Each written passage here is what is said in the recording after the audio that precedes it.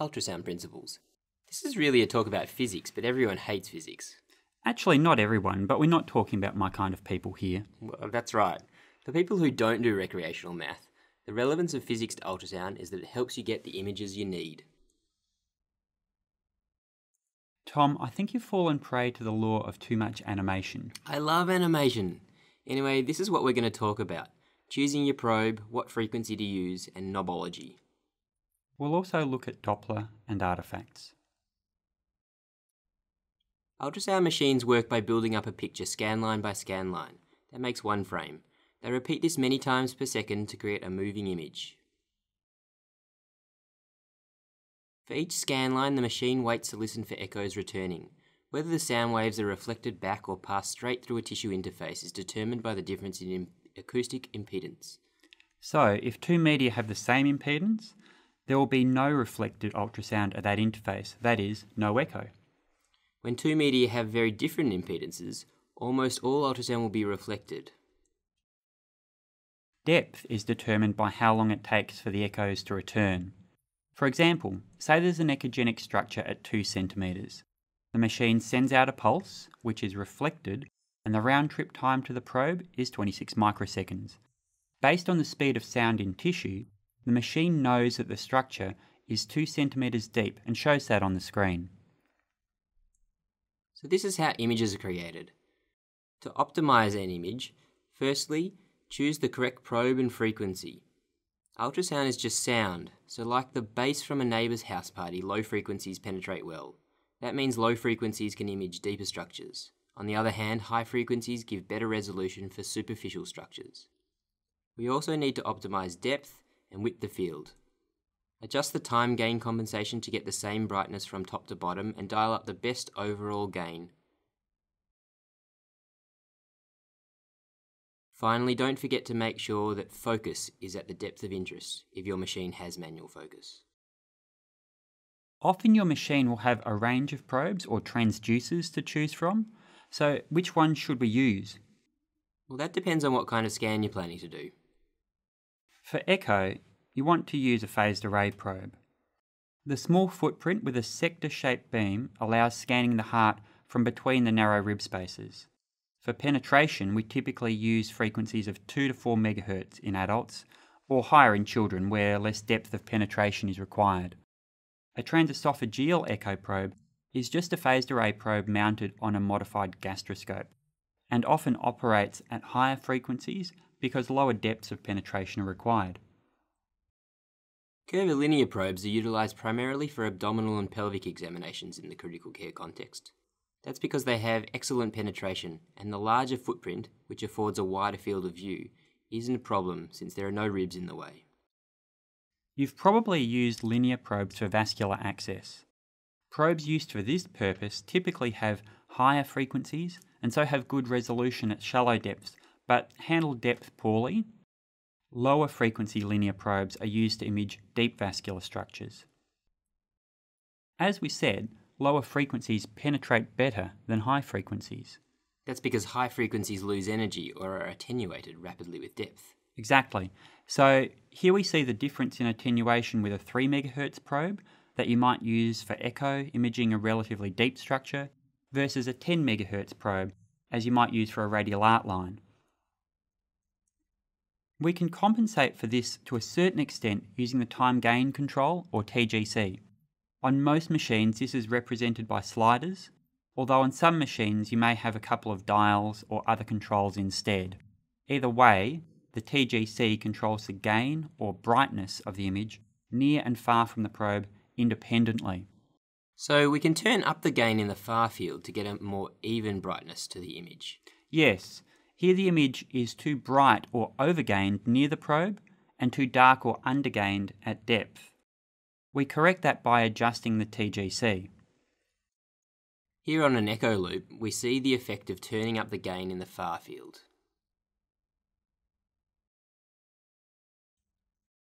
Sometimes you need to increase the near field gain instead, as demonstrated here with a very bright pericardium and reflective lung tissue. Like a camera, ultrasound machines have a focal distance. They show structures at this depth most sharply, while closer and nearer objects have poorer lateral resolution. Visually, that means that the ultrasound is smeared out laterally. We've all experienced a physical principle called the Doppler effect. Ignoring the volume, notice how the pitch of the motorbike engine drops as the bike goes past us.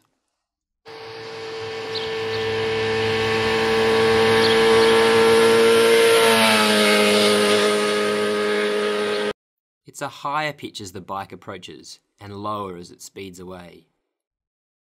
Ultrasound machines can measure these frequency changes and use them to measure the speed of blood and tissue. Often they're represented with colour, here demonstrating tricuspid regurgitation. Blue represents blood moving away from the probe, and red represents blood moving towards the probe. This is called the BART convention. I can never remember BART. I just remember that when things get squashed together, they get hot, so red. Whereas I think that's confusing.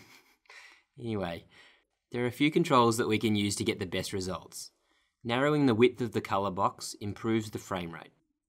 We can also set these upper and lower limits called the Nyquist limits. For most purposes in echo, around 60 to 70 centimetres per second is appropriate. For low velocities, like through a big ASD or in a Doppler venous ultrasound, we need much lower velocities. Ultrasounds can measure the velocities along the entire length of the cursor as seen with continuous wave Doppler or within a small gate as in pulse wave Doppler. As the name suggests, continuous wave continuously sends and receives ultrasound. Because it is continuous and doesn't wait, the machine can't figure out the depth of the moving objects, just the speeds. Continuous wave lets us see fast jets. You can set this scale as high as you like. Most machines will show that you're using continuous wave using this little diamond shape. But actually, you're measuring the velocities of all the blood cells anywhere along the cursor line, not just at the diamond. Pulse wave Doppler sends out a burst of ultrasound and waits for the echo, which allows it to figure out the speed at a fixed depth. This depth is shown on the screen as the range gate. The downside is that only much lower velocities can be accurately determined. If the velocities are off the scale, the signals get cut off and wrapped around to the bottom of the trace. You can see that this has happened in this trace by taking the bottom part of the trace and sticking it on the top. This wraparound effect is called aliasing, and it happens in colour flow Doppler too. This patch of red among the blue is not because the jet changed direction, it's because the velocities exceeded the Nyquist limit set and wrapped around into the red zone. Because Doppler only measures velocities towards or away from the probe, we need a good lineup. For example, in this RV inflow view, the tricuspid regurgitation jet is almost going laterally, but the machine only measures the part of the flow in line with this arrow. So, the machine will give us a relatively low peak velocity. When we plug this into the modified Bernoulli equation to figure out the right ventricular systolic pressure, it will be a dramatic underestimate. Here we've looked from the apical four-chamber and got a much better lineup, within 20 degrees of the arrow. So we get a much higher peak velocity and a more accurate right ventricular systolic pressure estimate. Not everything we see on the screen represents reality. Some represent assumptions made by the machine. Four principles can explain most artifacts. The ultrasound slice has a thickness, principle 1. It's thinnest at the focal point and thicker elsewhere. But the machine assumes that the beam is thin and uniform. This leads to beam width artifacts. Here in the left atrium, we see an artifactual echo density. This could be from the LA wall or some out of plane structure included in the beam width. Again, the machine assumes the beam looks like this. But due to interference patterns, it actually looks like this with extra bits on the side called side lobes. Now, if an object is in one of these side lobes, the machine will assume it's actually in the main beam. The resulting effect is similar to a beam width artifact.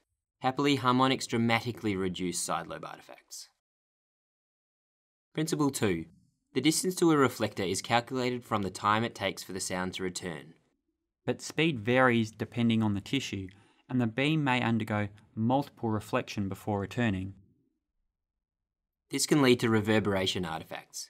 Here we have two objects at different depths. The sound takes longer to return from the deeper structure, so it's shown as deeper on the ultrasound image. However, some of the ultrasound can ricochet back and forth between two strong reflectors. It will then take even longer to get back to the machine, which assumes there must be another deeper structure causing it. More reflections, more imaginary objects. This is a lung ultrasound showing the highly reflective pleura about 2 centimetres from the skin. Ultrasound reverberating between the probe and the pleura produces these multiple extra lines called A lines, shown here also at intervals of about 2 centimetres. This parasternal long axis image shows a pulmonary artery catheter in the right ventricle. Multiple reflections within or around this structure produce multiple artifacts behind it, called a ring down artifact. Calcification or prosthetic material causes a similar effect, seen here in this parasternal long view and here in this short axis view. Principle 3. The machine ascribes all returning sound to the direction in which it's looking. But the beam can be bent or reflected. This can result in artifacts like the mirror image artifact beautifully demonstrated here in this echo loop. The LV and mitral valve have been reflected by the pleura, creating a mirror image artifact. So how is it that the anterior mitral valve leaflet and the LV wall are shown twice? When it hit the pericardium, the beam actually reflected. The machine thinks the ultrasound beam took a straight path, so it shows a copy of the anterior mitral valve leaflet here. Principle 4. The machine assumes ultrasound is uniformly attenuated but this actually varies with the tissue. Here we see acoustic shadowing in the middle of the image. It's occurring behind a very echogenic mitral valve. The dark area is because nearly all the sound is reflected by the valve and very little penetrates behind it. Air tissue interface can have a similar effect and account for the common problem of poor windows, with dropout as shown here at the apex. We can also get acoustic enhancement, not shown here, but classically behind a fluid-filled cyst. The ultrasound is transmitted through the fluid with minimal attenuation, resulting in enhancement deep to the cyst. So one way of categorizing artifacts is those that create images more distant than the object, and those at the same distance. Thanks for listening to this brief introduction to ultrasound and the relevant physics. For more detail, we recommend the ebook by Gill called The Physics and Technology of Diagnostic Ultrasound. It's available at ultrasoundbook.net or on Amazon.